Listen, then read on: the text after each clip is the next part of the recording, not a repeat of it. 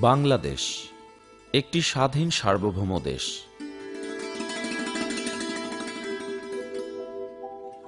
স্বাধীন সার্বভৌম এ রাষ্ট্রে সাম্প্রদায়িক সম্প্রীতি, সৌহার্দ্য আর ভালোবাসায় একসাথে বাস করে পনেরো কোটি লোক।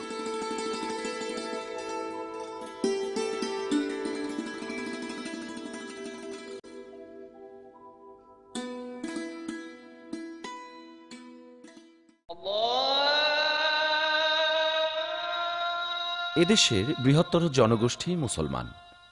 হিন্দু, মুসলিম, খ্রিস্টান, বৌদ্ধ এবং আদিবাসী সম্প্রদায়গুলিও স্ব ধর্মীয় বিধান পালনে স্বাধীন ও ঐতিহ্যপূর্ণ।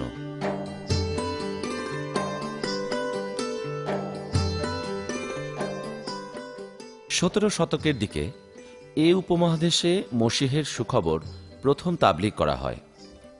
সেই সময় থেকে এ পর্যন্ত ক্যাথলিক ও প্রটেস্টান্ট দলগুলি পশ্চিমা ও হিন্দু সংস্কৃতির প্রভাবে বা সংমিশ্রণে তাদের ধর্মীয় এবাদত পরিচালনা করে আসছে।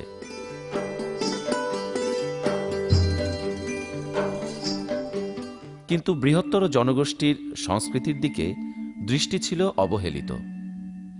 আর সেই কারণে প্রথম থেকেই মুসলিম জনগোষ্ঠী থেকে ঈসা মসিহের উম্মত হওয়া সামাজিক ও সংস্কৃতিগতভাবে খুবই বাধাজনক বিষয় হিসাবে পরিগণিত।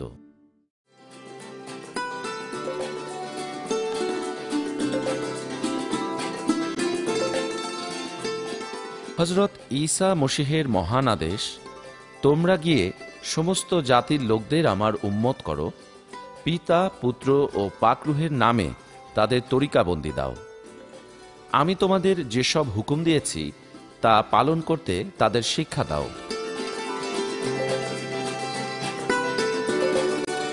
এর উপর ভিত্তি করে বৃহত্তর মুসলিম জনগোষ্ঠীর কাছে সুখবর তাবলিগ করার জন্য গুটি কয়েক সমমনা ইমানদারদেরকে নিয়ে দোসরা সেপ্টেম্বর উনিশশো নিরানব্বই সালে ইসাই জামাত বাংলাদেশের যাত্রা শুরু হয়।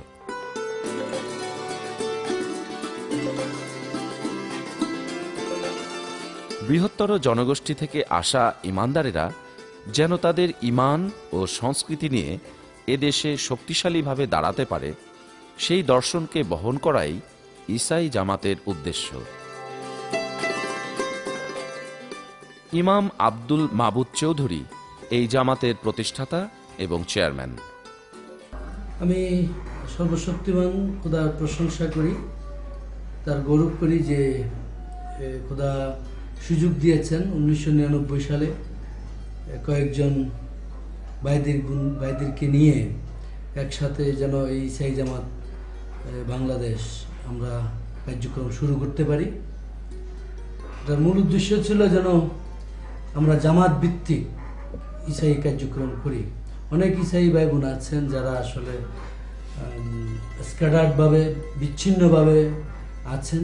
আমাদের উদ্দেশ্য ছিল যেন তাদেরকে আমরা সংগঠিত করি, উৎসাহিত করি এবং জামাত ভিত্তিক আবাদতে করতে উৎসাহিত করি। দ্বিতীয় একটা উদ্দেশ্য ছিল যেন আমরা এই বাংলাদেশে সুসমাচার প্রচার করতে পারি মুশিয়া রাজ্য প্রতিষ্ঠিত হয়। আমি খোদার গৌরব করি সেদিন যারা আমার সাথে ছিলেন এবং এখন পর্যন্ত যারা আছেন বিগত দশটি বৎসর অনেকের প্রার্থনা, অনেকের আর্থিক সহযোগিতা, অনেকের পরামর্শ, উপদেশের মধ্য দিয়ে আমরা অতিক্রম করতে পেরেছি। আমরা প্রভুর ধন্যবাদ করি। সেদিন আমরা শুরু করেছিলাম অনেকটা শূন্য হাতে। আমাদের কে কোথা থেকে দান আসবে, কোথা থেকে সাহায্য পাবো, কীভাবে চলবে, আমরা কোনো কিছু তখন চিন্তা করিনি। এটুকু বিশ্বাস করেছিলাম যে সদাপ্রভু থেকে আমাদের সাহায্য আসবে। যদিও আমরা সেদিন শূন্য হাতে শুরু করেছিলাম, কিন্তু আজকে আমি খোদার প্রশংসা করি, গৌরব করি যে প্রভু প্রচুর পরিমাণে আমাদেরকে রহমত করেছেন। এবং দেশি বিদেশি প্রচুর সহযোগিতা আমরা পেয়েছি। আমি ধন্যবাদ দিই। বিগত দশটি বছর আমাদের কার্যকরী কমিটিতে যারা ছিলেন, আমাদের উপদেষ্টা উপদেষ্টাগণকে আমি কৃতজ্ঞতা জানাই। বিভিন্ন সময় তাদের পরামর্শ, সহযোগিতা আমরা পেয়েছি। তাই আমি সর্বোপরি আমাদের খ্রিস্টীয় সমাজের প্রত্যেকটি মিশন মণ্ডলীকে কাছে কৃতজ্ঞ যে তারা বিভিন্ন সময় আমাদেরকে সহযোগিতা করেছেন। আমাদেরকে ডেকেছেন, তাদেরকে ডাকলে কাছে পেয়েছি। সেজন্য আমি প্রভুর ধন্যবাদ এবং প্রশংসা করি। প্রভু আমাদের এই অগ্রযাত্রায় আমাদের সহবর্তী হন, এই কামনা করছি এবং আপনাদের সকলের দোয়া এবং মোনাজাত চাই যেন আমরা আরও সামনের দিকে এগিয়ে যেতে পারি প্রভুর গৌরবের জন্য। আমাদের সমস্ত কিছুর মধ্য দিয়ে প্রভু গৌরবান্বিত।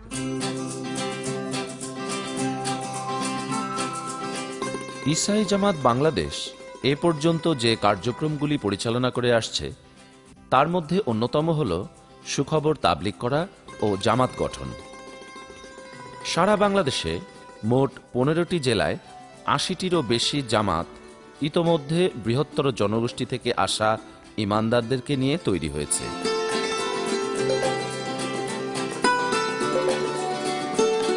আমি ইমাম বাবলু বিশ্বাস বাবু।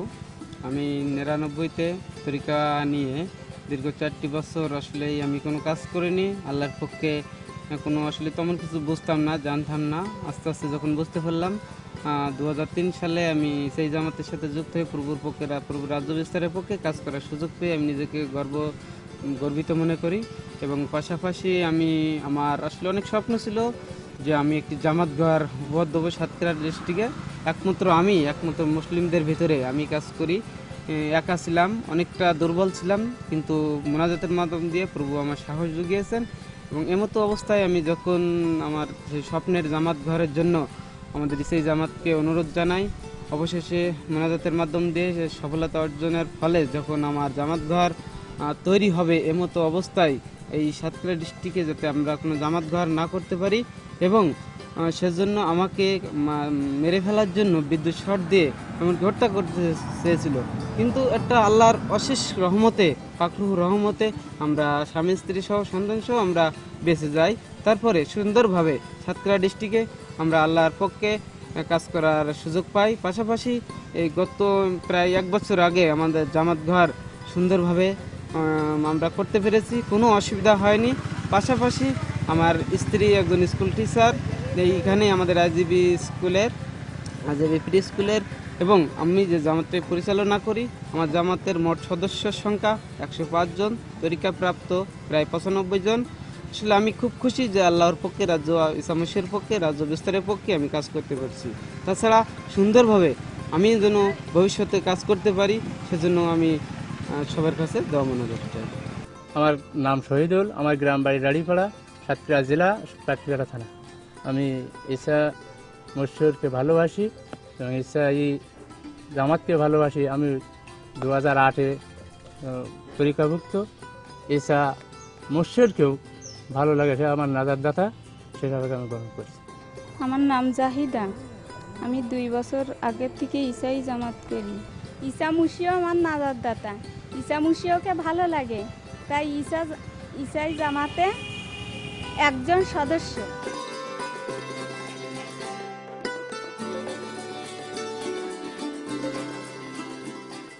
এই ইমানদারেরা যেন সামাজিকভাবে প্রতিষ্ঠিত হতে পারেন ও ইসাই সমাজ গঠনে ভূমিকা রাখতে পারেন, সেজন্য ইসাই জামাতের রয়েছে বিভিন্নমুখী উদ্যোগ।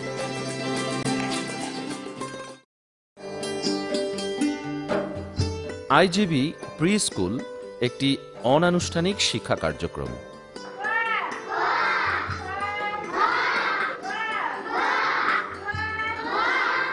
জামালপুর রংপুর, ময়মনসিংহ, বরিশাল, গাইবান্ধা, সাতক্ষীরা ও কুষ্টিয়ায় এই প্রি স্কুলগুলোতে বারো জন শিক্ষক, দুইশো জন শিশুকে শিক্ষাদান করে যাচ্ছেন।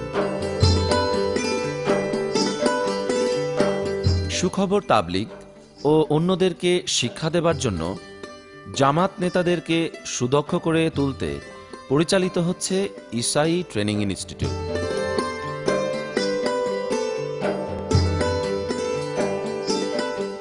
ধর্মতাত্ত্বিক ও সামাজিক বিষয়ে প্রশিক্ষণ দানের জন্য এই ইনস্টিটিউট কাজ করে যাচ্ছে।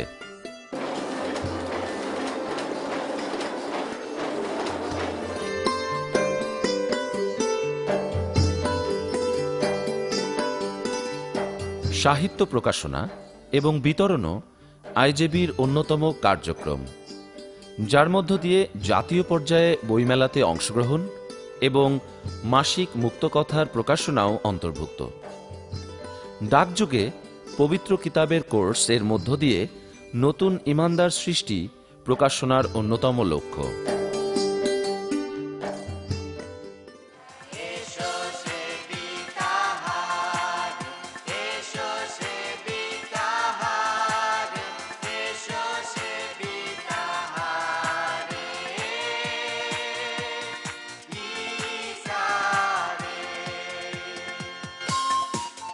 মিডিয়া একটি গুরুত্বপূর্ণ মাধ্যম। ইসাই সংগীত প্রযোজনা, সামাজিক অসঙ্গতি ও গণসচেতনতা ভিত্তিক পথনাটক প্রদর্শন ও ভিডিও চিত্র নির্মাণ আপামর জনসাধারণের মধ্যে তুলে ধরার জন্য আইজেবি মিডিয়া কাজ করে যাচ্ছে।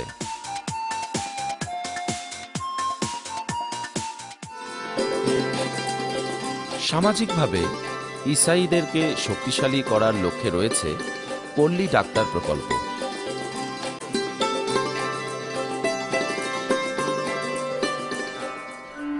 সেই সাথে বিভিন্ন সময়ে প্রাকৃতিক দুর্যোগে গৃহহীন ও অসহায়দের পাশে দাঁড়ানো ও মসিহের মহব্বত প্রকাশ সামাজিক দায়বদ্ধতাকেই প্রকাশ করে। আমি আমিরুল ইসলাম জুয়েল, যশোর আমার বাড়ি। আমি দুই হাজার পাঁচ পঁচিশে ডিসেম্বর আমি ইসা মুশিয়াকে মুক্তিদাতা হিসেবে, ত্রাণকর্তা হিসেবে গ্রহণ করি। আর সেখান থেকে আমার এই, তার, আমার বিশ্বাসী জীবনের যাত্রা শুরু। আমি সেখান, সেই থেকে এই পর্যন্ত আমি তার রাজ্য ধার্মিকতা বিস্তারের পক্ষে কাজ করে যাচ্ছি। ইসাই ইমানদারদেরকে রুহানিকভাবে শক্তিশালী ও সমাজে দক্ষ নেতা হিসাবে তৈরির লক্ষ্যে ইসাই জামাত বিভিন্ন সেমিনার ও প্রশিক্ষণ কার্যক্রম পরিচালনা করে আসছে। মহিলা শিশু এবং জামাতের ইমামদেরকে নিয়মিত প্রশিক্ষণ দানের লক্ষ্যে আগামী দিনে ইসাই সমাজ গঠনে ইসাই জামাত গুরুত্বপূর্ণ ভূমিকা পালন করে চলেছে।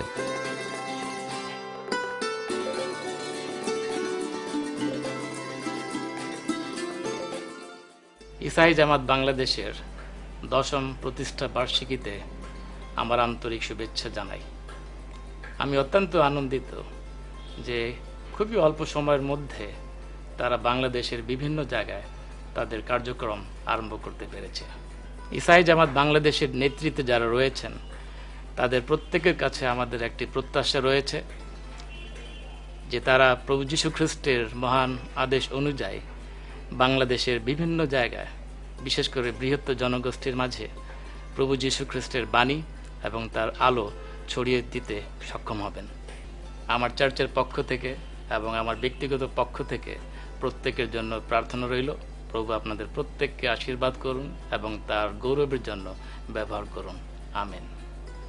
ইসাই জামাত বাংলাদেশের দশ বছর পূর্তি উপলক্ষে প্রেসবিলিন চার্চ অফ বাংলাদেশ থেকে এবং ইসাই ফেলোশিপ ইন বাংলাদেশ থেকে ইসামসির নামে অনুগ্রহ ও শান্তি জানায়। বাংলাদেশে বৃহত্তম ধর্মাবলম্বীদের মধ্যে জামাত গঠনের কাজ খুবই কঠিন। এই দশ বছর যাবৎ ইসে জামাত বাংলাদেশ নিষ্ঠার সাথে এই কাজ করে যাচ্ছে, আমরা তাদের প্রশংসা করি। স্বদেশীয় ভিত্তিতে বাংলাদেশের বৃহত্তম ধর্মাবলম্বীদের মধ্যে ইসা জামাত বাংলাদেশ যে কাজ করছে, সেটি দীর্ঘজীবী হোক, নেতৃত্ব পরিপক্ক হোক, শক্তিশালী হোক, এই কামনা করে।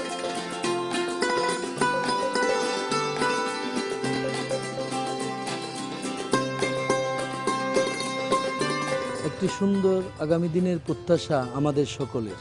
এদেশের মানুষের না যাতে যে আকাঙ্ক্ষা, তা ইসাই জামাত বাংলাদেশ দৃঢ় সংকল্পভাবে এগিয়ে নিয়ে যেতে আগ্রহী। ইসাই ইমানদারেরা যেন সমাজে লবণ এবং আলুস্বরূপ হয়ে চলতে পারে, সে প্রত্যাশায় আমাদের এই পথ চলা